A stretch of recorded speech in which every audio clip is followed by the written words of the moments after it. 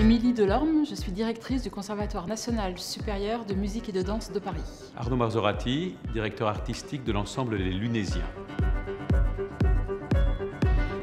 Le Conservatoire est un établissement d'enseignement supérieur en musique et en danse euh, qui forme des jeunes artistes euh, au diplôme euh, Bac plus 3, Bac plus 5 et doctorat ensuite dans tous les métiers de la musique. Ça va de la musicologie, la composition, les instruments, dans toutes les esthétiques. Cette passion, c'est celle que j'ai depuis longtemps.